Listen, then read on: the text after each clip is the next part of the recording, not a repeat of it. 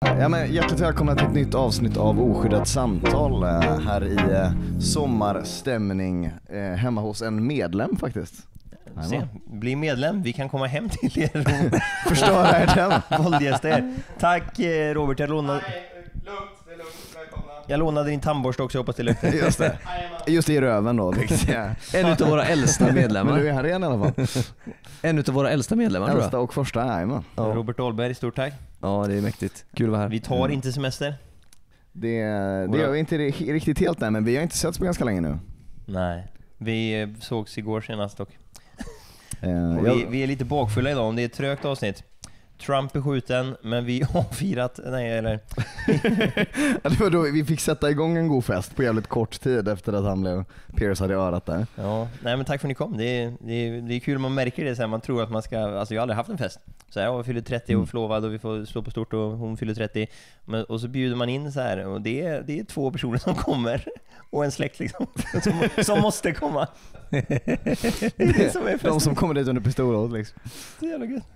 Men det var otroligt trevligt, eh, bra. får man säga. Eh, men innan, innan vi går in mer på festen och sådär, så jag Starkt att podda idag. alltså. Starkt på det, ja, berätta mer. Nej jag bara säger, det är starkt att vi poddar idag. Det är, det är inte lite bakrusen här hjärnan alltså. Nej det kommer inte vara de intelligentaste spaningarna idag kanske. Nu jävlar. Nu jävlar liksom. Vad Eh, tänkte du på? Eller är det det det kommer vara? Jag tänker att du har Just det. chansen idag. Det kanske är idag det kommer vara de intelligentligaste på spaningarna. Ja, det, just det. Så Ja, fort men- du har lärt dig uttala det ordet så jävlar. Då kommer han gå med oss med hästlängder. Just att vi kanske håller käft idag jag och Gustav, så att du får prata lite. Ja, det är ja, ja, ju just jag som inte har någon röst kvar liksom. Ska ju prata mest. ja. Men eh, s- okej, jag, jag tänkte att vi skulle snacka Trump först, men vi kan snacka festen först. Ja, är Eh, är du nöjd med din fest liksom? Att alla, varför tar alla av sig i, i bara överkropp? när, när man inte har några bara överkroppar att visa upp liksom. varför, När, har, när skedde det här under festen? varför har min pappa och Filip Hedlund och Johan Fetelän bara överkropp på hela festen liksom? Det är, Men det är väl något, att det är det manliga fråga- självförtroendet? Mhm. Är det inte det? Framförallt, eh, ja men det hände ju konstiga grejer under den här eh, festen. Eh, jag, varför, varför fick jag rödvin och, och två tallrikar mat över mig till exempel? Det var ju också en speciell sak. Jo, för att du fet fan Johan Län. Och jag ska bara säga att när han kom till festen så sa jag det. Nu har du haft sönder min säng och eh, Perms säng. Och nu, nu vill jag bara att på den här festen har du inte sönder någonting. Spola fram en timme när vi ska sätta oss och käka. Filip Felas och Johan Län sätter sig på samma sida av bordet så att allt välter som en sån här gungbräda, eller vet du det?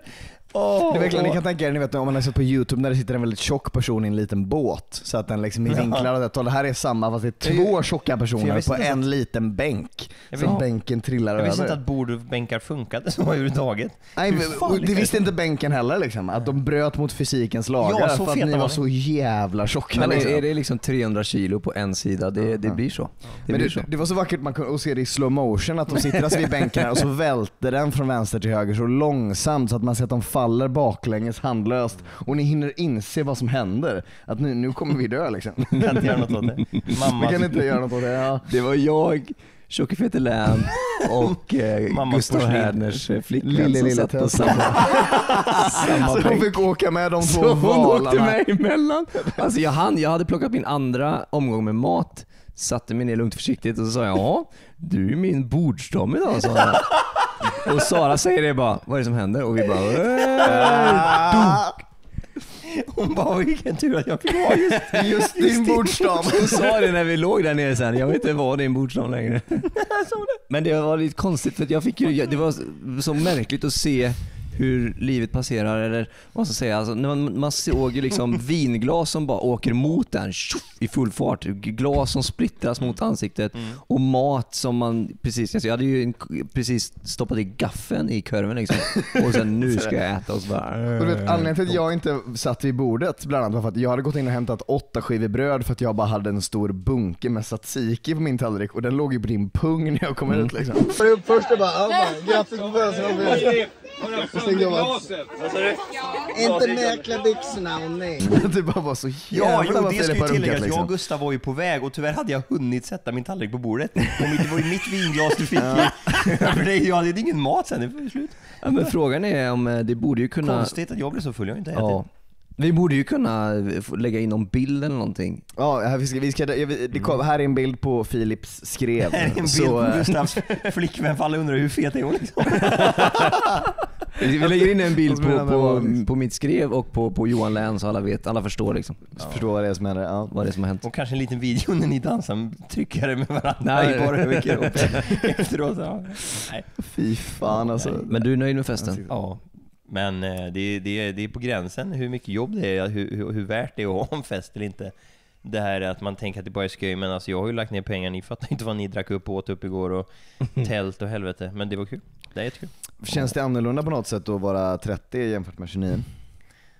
Har det varit någon kris? Ja, men jag, vi har ju pratat massa om det väl, kanske inte podden i och för sig. Eh, Nej, jag tror det är för privat, jag pratar bara skit om kvinnor här i podden, det är det jag gör.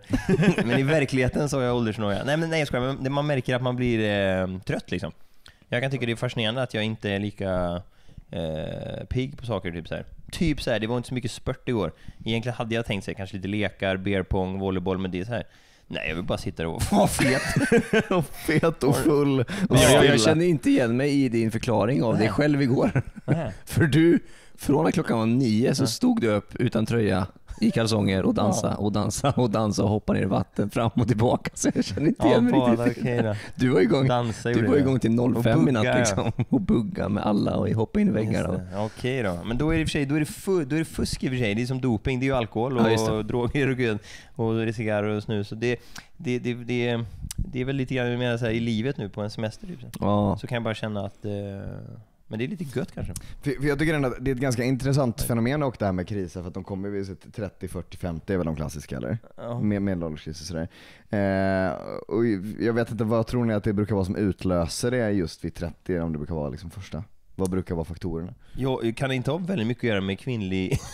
Det Är det kvinnornas fel? Att kvinnorna har för mycket rättigheter! Alltså det, det är därför. Han är ju på väg med något annat. Ja, bra det är det. det här är en spaning. Det här är en spaning. Nej, men deras eh, fertilitet tar slut, eh, börjar gå ut för. Och då, och alltså, då, där har du i alla fall svaret för 50% men de andra 50% kanske dras med i den. Att Ja. där ska man, ja, det, vad är det, Bard sa ju en ganska intressant sak en gång, att, att vi har vänt på det, att eh, man egentligen borde skaffa barn först och göra karriär sen liksom. Ja. För det hade varit mer i, i linje med biologin om vi nu ska ha ett kapitalistiskt samhälle och göra karriär och så här. För nu är det sån stress. Det är väl det som är 30-årskris, tänker jag mycket, att det är en stress. Eh, här sitter jag med er två idioter fortfarande efter 10 år, liksom, vad gör vi liksom? Alltså du vet såhär, uh, ja, det är mycket sånt eller? Nej men, men det, det är väl också att man har ju all energi när man är ung Mm. dock på det mesta liksom. Och att, att eh, Jo, men just så, det. Och karriär kräver väl också energi. Just det, för Chang Frick ringde ju mig och ville sponsra den här podden, eh, Mm. kanske, men då måste vi fan ge mer pengar än vad han erbjöd oss. Eller ta mer pengar. Nej men, och så, och så hade han också, för han ringde egentligen inte om det, han ringde ju om att han, han, han tänkte på stå där, framförallt att han ska starta ett eh, hockeylag. Åh herregud. Och så berättade jag det här i podden, det kanske är hemligt, men det var ju så jävla roligt. Men det jag slogs av, alltså han ska, alltså skämtet är att vi ska vara eh, en klack, du vet, eh, 500 pers eller något. Ja. Men, och så börjar vi i lägsta divisionen liksom, så att det, skämtet blir ju att att man har en av Sveriges bästa klackar i sämsta laget i hela Sverige. Liksom. Och sen Det är ganska kul att oss det är helt tomt på de andra läktarna liksom. För att det är Ja, så ja, lågt ja, divisionen och så är det en som är full liksom. Det kommer inte finnas någon motklack någonsin. Det är liksom, så jävla i roligt. Fan, man vill vara med i klacken liksom. Fan vad det låter grymt. Ja, det, och då, då, då slogs jag just av det liksom. Det här är Viktor när jag var 21 liksom, eller 18 eller så gymnasiet eller efter, du vet att sådana där idéer och att man genomför dem. Mm. Och så känner jag liksom att, och så kom jag på det också, hur fan orkar du liksom? Det var typ det var min första tanke liksom. Ja. Det här hade jag ju varit på för 10 år sedan liksom, men du är 10 år äldre än mig.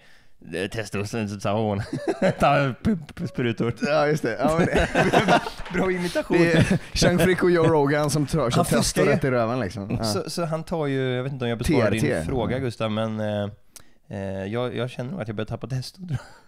Nej, det det, finns det något i det? Nej, men- nej, men det är det- kul att höra då att jag inte gjorde det på festen igår, men i Nej, det livet, du eller så är jag bara i semestermode, men jag ligger ju bara och solar och bara...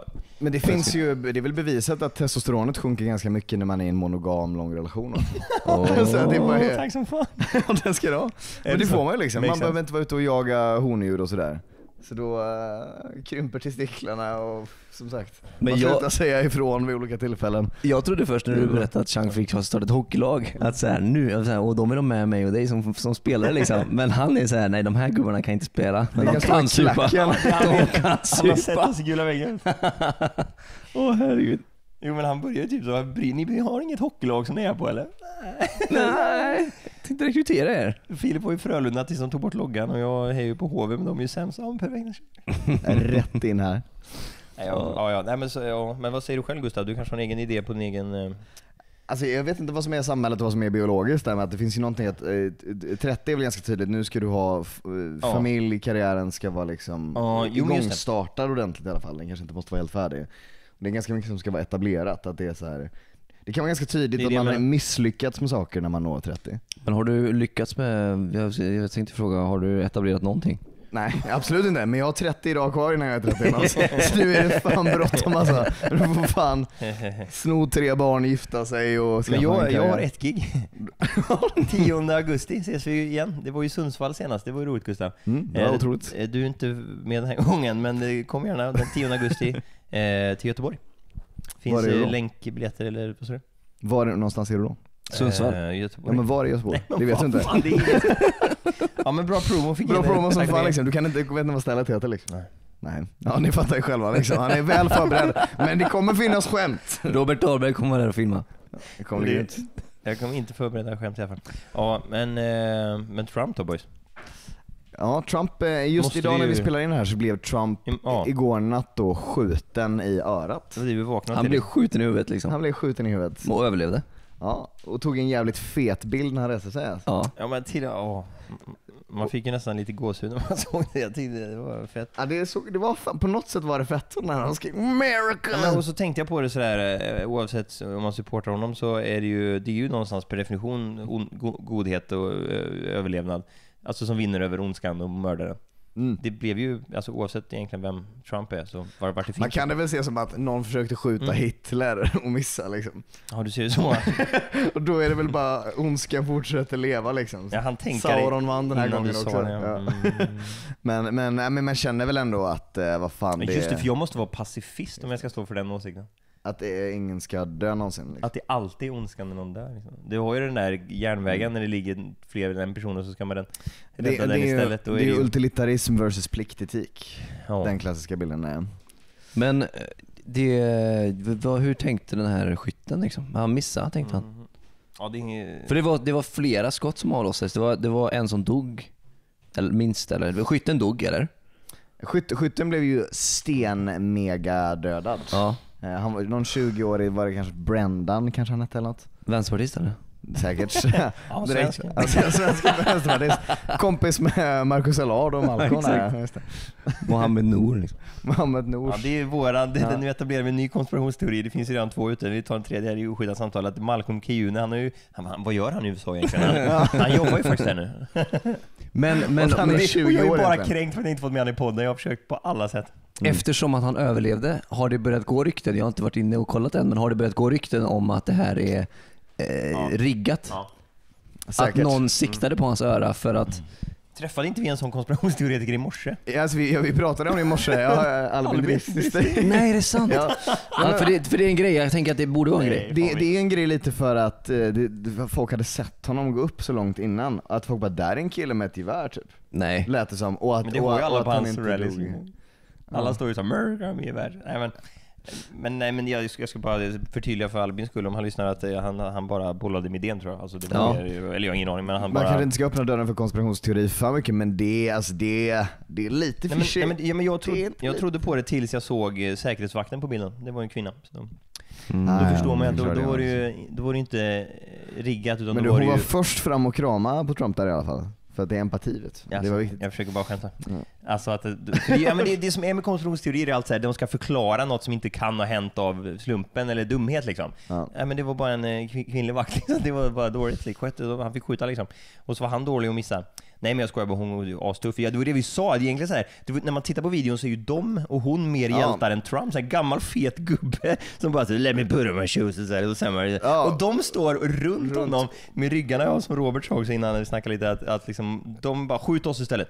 Ja. Skjuter åt Det är literally, fem, du är en köttvägg fem liksom. Filip Hela, så en Ja. liten blondin liksom. Som bara, Ja för det, det är ju ändå rätt så, egentligen inom polisväsendet så här, om vi ser i Sverige, så är det ett rätt så fint yrke. Alltså Ja, det är det är rätt så svårt i, i Sverige att bli, alltså först blir du utbildad polis och sen får du gå massor ut, vidareutbildningar för att komma in som, ja, jag vet inte om man kallar det för livvakt eller vad man exakt säger, men de som skyddar liksom eh, Magdalena Andersson eller Mohammed Nour och, och grabbarna. Eh, men men det, det de gör egentligen, om man tänker på det, de, de tar ju de tar en kula för, alltså de, de, då, då är de ju liksom villiga att ta en kula för Magda. Liksom. Trump, ja för Magdalena. För Magdalena Andersson liksom. Fy fan att ta en kula för henne alltså. Nej men, också, men jag tänkte på det och jag sa det till Robert för han berättade om den där bilden som var så perfekt att den kanske var lite omgjord i photoshop men liksom att, att ja, men, men ändå så att han till och med, alltså om man nu tänker att han får, alltså att han nu kommer han ju vinna valet liksom. Den coola bilden, han överlevde, liksom, det är synd om han får kvinnors sympati och dessutom om man vill ha vänsterväljare så har han en kvinnlig livvakt liksom. Det är så perfekt!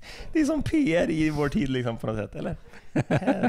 Ja, det var, oddsen var inte höga nu Det är synd på att hon inte var svart och satt i rullstol också alltså. Då jävlar hade det Ja. men han, han hann inte fram vad han hade. Nej just det, han hade Han en på livvakt han- Jävlar men är det inte vad så här- sjukt. Skjut mig! Jag tar en kula för dig Trumpen. Men är det inte så att... Eh, att, att var, var det inte någonting häromdagen bara också att, att typ Biden presenterade Donald Trump när han skulle presentera Nej, ja, ja. Ukrainas president? värre Putin. Nej, Putin var det Det är alltså. kul att han säger fel. Att han säger fel igen ja liksom. Om han Så, ja. Nej, för han skulle säga "And welcome to the stage Vladimir Putin eller vad det var. Så, så var Ja, det, och så- men det var det ja, men Ukrainas- Zelensky ja. Ja, ja, Zelensky. Ja, men det, var, det var som en film, om, om, om du och jag sk- skulle göra en sketch om så här, om Biden hur senil han är, det är det ultimata felet. Han säger ju bokstavligt talat så här, så som jag hade skrivit repliken liksom. And this is my hero, and we support him, Vladimir Putin, ladies and gentlemen. Och så, in, och så hinner han gå ett steg och så bara no, no, uh, wait. Uh, uh, we, I only think about Putin because I'm going to beat him. Of course, I'm meaning Zelensky. Yeah. My hero. Ja men det var något sånt, det var verkligen här lite, lite, han vill ju presentera honom Ja, som vi gör liksom. på Big Ben sen när du Ja. låtsas att jag är en bra komiker när jag kommer efter liksom. Vad tänkte. Putin på den liksom när han såg det? eller Zelinskys blick, såg du den? Ja. Ja. Han, vet, han vet inte om han ska skratta eller, Eller liksom. gråta, Ja. eller så är det ett skämt. Bara, Vad är det som händer liksom? Det var så jävla roliga tweets nu efter Trump-skjutningen liksom. Var så okej, okej ingen låter jag säga något för han kommer säga att det är Camilla Harris som har blivit skjuten. Ja, ja, liksom. ja, men- Men alltså jäklar vad Putin, han måste ju sitta och bara liksom, vad, vad, vad känner han och tänker han? När, när han ser på det här då måste han tänka att, är det de här boysen jag möter liksom? I think Är det här beat väst? The, the West. Är det det här det bästa väst har liksom? There is Det, no resistance left. Ja, Ja, ja, jag funderar ibland på bara hur mycket makt en person har. Är det så att han ändå har hela utrikesdepartementet och du vet så här, kongressen, alltså att det ändå är tusen människor bakom Biden eller Trump, att, det, att han bara tänker att det är samma gamla klägg eller samma gamla, att det, han möter liksom massa smarta människor från USA. Eller, eller har Biden all makt och är senil så är det ju farligt. Jag vet inte exakt hur mycket så här, hur mycket Putin då ifrån din frågas perspektiv tänker på en person. Om det, om det spelar så stor roll. Det kanske det gör. Jag inte, reflekterar ni någonsin över det med Biden, att det ser ut som att han är en person som har på sig en annan persons ansikte typ? Mm. Att, att, det är så här, det, att det är så påklistrat. Det är något med att hans ögon sitter så långt in. Ja, det är nog det ja. Att Du har det, rätt. Ja, det ser så jävla obehagligt ut Mm. liksom. Och så just att han ser ut så, och så går han alltid och sniffar små ungar tjejer i håret. Ah, tjena, var du tvungen att sniffa micken? Alla kommer liksom höra nu hur det låter när du sniffar. När Joe Biden sniffar tjejer. Nej men det är just och det, det är alla åldrar liksom. Allt från eh, gamla tanter till uh, ungtöser är han på. Jag tycker det är lite extra kul för jag är ju likadan. Jag har ju samma, jag har ju samma fetisch. Alltså tje- tjejer luktar så gott, jag vet inte. Ja, de, det är verkligen de här feromonerna liksom som man andas in. Jo men jag, ja. Katter och tjejer luk- luktar vad man är i pälsen liksom. Ja. Så, så där kan jag sympatisera med Biden. Ja shit vad Trump kommer vinna nu. Och vad leder det till egentligen? Har vi koll på så här konkreta skillnader? Det är, det är NATO man är rädd för bara eller? Man är väl lite rädd för att han vill gå ur NATO, fast det är väl också egentligen att han mest har satt ner foten och sagt att de behöver bidra mer. För att USA har burit till lasset. Och det är väl, på någon nivå är det väl rimligt. Alltså det är så pappa USA som har tagit hand om världen rätt länge och nu får väl få, få steppa upp liksom. Mm. Uh, men, Vad tycker du om den debatten som min bror och min morfar hade uh, häromdagen om uh, USAs styrning av världen liksom, och inblandning i eh, världen. Liksom. Är du en sån där... Eh... Alltså det, det är väl lite så här, om man, om man måste ha en kung på tronen så är det kanske Mm. den, alltså den bästa kung man kan ha. Mm. Trump.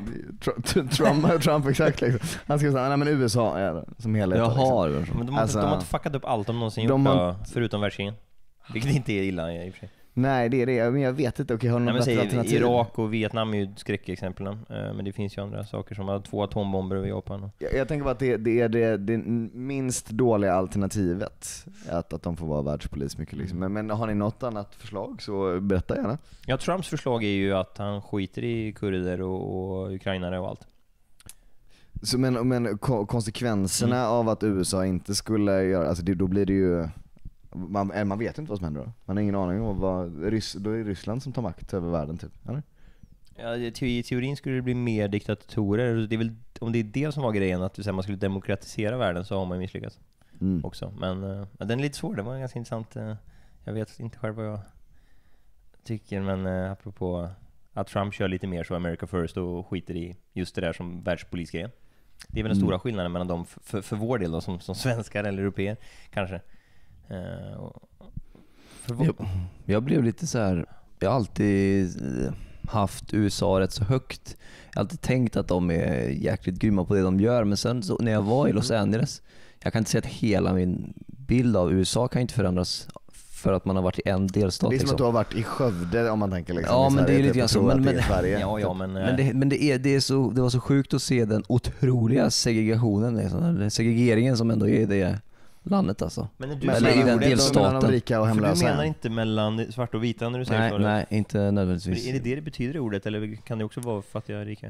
Vet ska- kan man säga klasskillnaden Klass- då? Kan man säga då? Det, kan, det kanske är klassklyftorna kanske ja, är jag bättre jag ord. bara förtydliga. Ja, klassklyftorna. Alltså, Och det är därför man ska rösta på sossarna liksom. Ja, det var ju så Jag. Olof Palme blev sosse. Han föddes ju i rik moderatfamilj och så pluggade han i USA. Han hade exakt din upplevelse. är det sant? Ja. Okej. Eh, och så, ja precis, då blir, så är du sosse nu. Sitter där med din röda mick.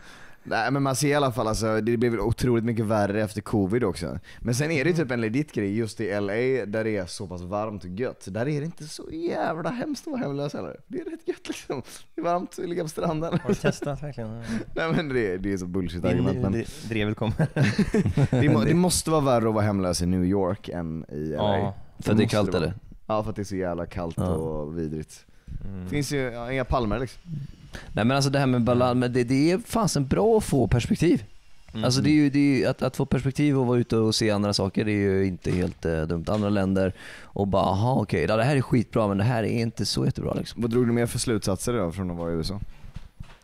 Från Vad- USA. vad, vad ja. är den stora skillnaden mot Sverige? Men det, Nej men eh, jag, Jag vet, vet. inte om jag, jag har nog Tänkte sagt du- det till er men jag har nog inte sagt det i podden kanske men du vet, så här, jag tycker ju om att bara, bara promenera på mm, bara promenera på stan och det gör man ju inte där för det är så här, rika människor åker bil och gär- gärna en sån här ny eh, Space Cybertruck av Tesla liksom. Mm. Eh, och, och fattiga människor eh, som inte har någonting, de bor ju i tält liksom. Det är tältläger på trottoarerna i Los Angeles liksom. Eh, och eh, så snackade jag med någon tjej där som sa liksom att hon, hon har tre eller fyra jobb. Du vet, så här, något på McDonalds, något på Kentucky, Kentucky Fried Chicken. Oh, men tack snälla Robert Dahlberg Ja, service på det här stället. Hans, hans, det, här kan vara, det, här, det här är antagligen inte en komplimang, det är så här, de här grabbarna behöver fan ser fan uttorkad ut ja. vätska alltså. Hur, hur, hur bakfulla är de liksom? Kan det, det börjar se ut som Trump och Biden som sitter där.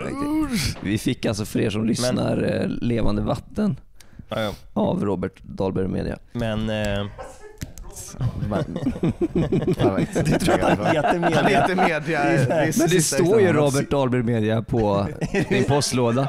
Ja, ja. Är du syrier eller Robert Media? ja. Vi är i Södertälje och eh, diskuterar. Eh, Men var, var var vi någonstans Jo men där? precis, vad är skillnaden på Sverige och USA? För en stor grej som du delvis är inne på det här tror jag, det är ju allemansrätten heter det va? Som Ja. tyskarna kommer hit för och säger att i Sverige så har ju sossarna gjort att du får ju eh, vara överallt, eller på säga. Det, är Ja. så här, det, det blir ju, tänker jag när jag var i Sydafrika till exempel, så Mm. det, alltså, ja, typ segregation bokstavligt talat, så blir det ju murar runt allt privat. Mm. Och så kan det vara så här, ah, den där stranden ska Gated vi gå och communities, bada på liksom. Eh, och så bara, ah, det, det här kommer vi inte in liksom. Nej. För den ägs av en människa och inte av kommun liksom. Jo, ja men precis. För när jag, och eh, eh, vad heter det, Gordon var uppe och vandrade i den fina Beverly Hills där, så står det ju liksom på varje tomt, alltså det är ju ett fint Ja. område där, att så här, du kommer bli bemött med firearms ifall du kommer in på vår tomt liksom. Ja, och det är ju skillnad. rätt i I ansiktet. Ja. Ja. Och den här grejen, ja just det, det var där vi var. Jag pratade med den här tjejen som hade tre eller fyra jobb. Japp. Eh, något på McDonalds, något på Kentucky Fried och något på något, bla, för att kunna betala hyran och för att ha en dräglig levnadsstandard. Liksom. Där undrar jag alltid längre, för med tre eller fyra jobb, eh, är det så då att alla är gigarbetare liksom? Att de inte kan få, alltså ens, även bara ta fler pass, att du bara kan jobba på ett ställe? Nej men det är liksom? skitbetalt. Det är, alltså det är skitbetalt om du inte har en collegeutbildning typ. Men jag menar, det kan ju vara skitbetalt och det är ändå lättare att jobba mer bara på ett ställe. Jag fattar inte varför de ska ha så många jobb. Det, men det måste vara för att fylla upp tiderna då, att de inte kan fylla ett helt schema Ja liksom. men jag förstod det som att de jobbar dag på ena stället och så sen går de vidare på nattskiftet liksom, som Ah, det undersköterska. Typ, att, alltså, de alla timmarna liksom. För att liksom få ett så här, men, du, så här, helt okej liv. Liksom. Och Ja. så, eh, så är det ju. Men, men däremot om du eh, har en bra collegeutbildning då i USA och, Mm. och har ett bra jobb, då, då är du ju kungen. Då, är du ju liksom, då lever du ju det godaste livet. Alltså du, du, ja, du tjänar ju bättre då men eh, sen så är det ju fortfarande så, alltså det, det blir mer och mer problematiskt för att det är så jävla dyrt att utbilda sig i USA och det leder inte nödvändigtvis till jobb heller så det är en stor grej också. Men framförallt hyra är ju också helt sinnessjukt på sina ställen i USA. Ja. Alltså New York-hyrorna är liksom, alltså om ni tycker det är dyrt i Stockholm liksom, alltså det, det är så jävla dyrt. Jag kan ha sagt det här i podden, men det hör ju Mm. verkligen till eh, ämnet att, att jag, min eh, kompis som hade eh, Lars Fr- Fruden, Mm. han eh, jämförde med en kollega från USA. Så här, sina ekonomi, ekonomiska utgifter och sånt. Mm. Och skatter och, och du vet. Och de, de kom ju fram till att, att de pl- plussade och minusade ganska lika liksom. Och de är ändå hyfsat höginkomsttagare, men typ så här, all skatt Lars la, la ändå amerikanen på sina barn, så de hade typ tre barn var, allt det. Sjukförsäkringen Ursäkta, eh, för mycket vatten. Nej men det, de liksom eh, hade samma utgifter typ. Ja, Då kostade tandläkaren så mycket, eller, vad det nu är, du vet sjukvården och liksom Ja. eh, allt, alltså det, att det ändå tillkommer ganska mycket kostnader i USA som man inte tänker på. Ja, nej, men det blir ju plus minus noll kanske då. Alltså det Jag beror, vet- det beror på hur mycket man alltså, inte, men de menade på det. Det var lite intressant, jag hade tänkt så. liksom. Ja, nej men det, det makes perfect sense. Men jag tänkte kolla med allemansrätten som ni snackade om förut. Vet ni, alltså, man får ju vistas nästan överallt. Mm. Men, och det är också något man får typ slå upp ett tält i en dag. Det något, Ja, du, får, du får tälta var du vill, typ. typ. Eh, var du vill i en dag. I Alltså, en du dag får, man, ja. om, om jag äger, äger mark här ute i skogen Ja. eh, så får du tälta där en dag. Liksom. Ja. Du får inte skräpa ner på min mark. Nej. Du måste liksom plocka undan efter dig, men du får ju tälta där. Ja visst är det så ja. Ja. Eh, vad, vad är det mer för regler kring allemansrätten? Det är till exempel att säga, alla har rätt till eh, alla har rätt att kunna gå och ba, bada liksom, nästan vart som helst och sådär. Är det allemansrätten här? Tack Robert. Här kommer han liksom, allemansrätten. Ja, är king. Ja, sånt här, det- han är som Joe Rogans googlare ju. Precis, det är en Jamie här liksom. Nej men min pappa, min pappa berättade om, Allemansrätten är en rätt för alla människor att färdas över privat mark i naturen, att tillfälligt uppehålla sig där och till exempel plocka bär, svamp och vissa andra växter. Man kan enkelt säga att allemansrätten är lagar som hjälper folk att vara i Ja, naturen utan att förstöra den. Norge. Sverige, Finland, Island. Fyra länder. Och så några befolkade små trakter i resten av världen. Det är Ja. ändå eh, unikt då. Det är Men- här uppe i Skandinavien, men det innebär ju att ni som var på vandringsled där, ni fick ju inte tälta på ett visst ställe. Då Nej. hade ni fått det egentligen då, för att Ja. de har inte rätt att säga att ni inte får det. kul att du lyssnar så mycket. Ja. Eller? För Jo, nej, nej, men för jag var ju i Norge som sagt och vandrade, vi, vi besteg ju den här Trolltungan i Norge. Japp. Och eh, då kom jag hem förtvivlad till min far och sa att de ska ju ha allemansrätt i, i Norge. Ja. Men det har de inte, jag fick inte tälta vart jag ville. Nej. Och då sa han att den svenska allemansrätten är liksom the shit. Alltså den svenska allemansrätten är starkare än eh, alla andra allemansrätter, mer eller mindre. Så menar han på i alla fall. Att, eh, Var den bredare? Okej, Ja, det finns för- fler ja, klausuler men, nej, men den är viktigare någonstans. De har typ, de har, han menar på att de, den liksom nästan sitter i grundlagsskyddad allemansrätten. Alltså så var han inne på. Jag vet inte hur mycket sanning det ligger i det. Men det var så han, han menade på att liksom det är så här, du, du, får, du får tälta nästan vart fast som helst. Liksom. Var, var han stolt över dig, din, din pappa, när du kom hem från USA? Hade ni gött snack då första gången? Ingen kommentar. Jag ska.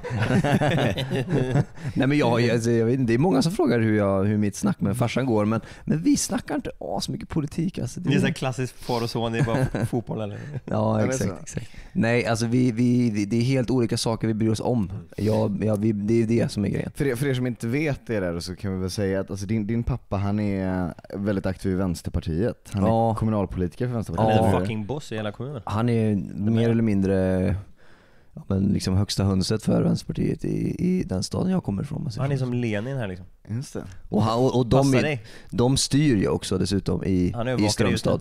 Det är, typ, det är en sån här konstig blandning på Vänsterpartiet, Moderaterna, Kristdemokraterna och eh, Ja, Centern typ. Alltså, det är något ju- sånt där alltså. Det vet ju Pelas in med makten, de gillar ju, de gillar ju makt va, de gör allt så här. Han, det är jätteroligt, är det så?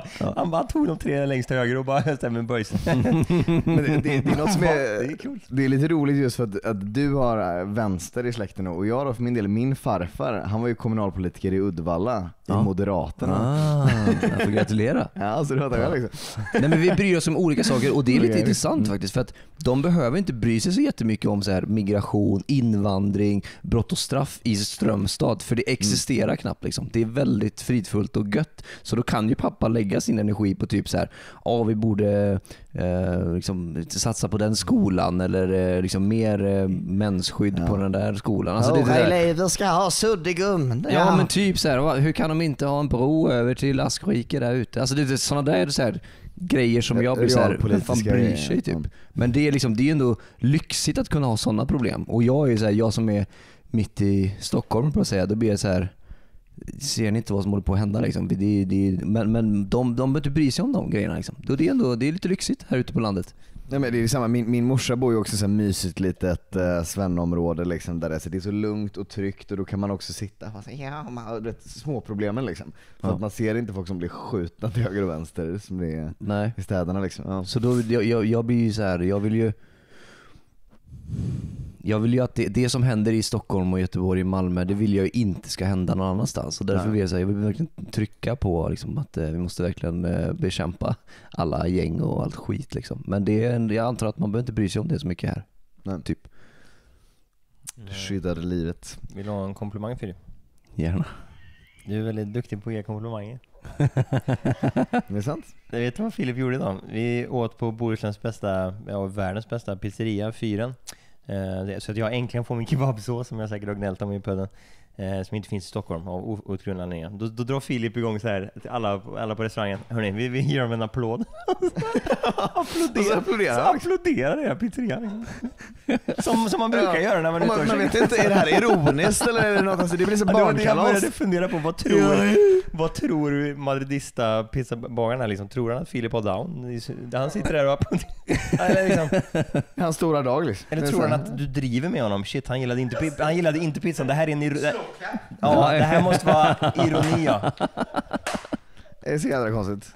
ja du, du är en fin människa, du är fin. Men Ja, jag tycker eh, du är en vacker Blås individ. på din fara. Ska vi, ska vi avsluta det här avsnittet med en liten applåd då? För Filip Pelas? Tack Robert. Ja, tack Robert. Ses i Göteborg Tack så mycket, 10 Robert. augusti då. Länk till biljetter. Tack så mycket för att du har lyssnat på Skyddat samtal. Ha det gött här.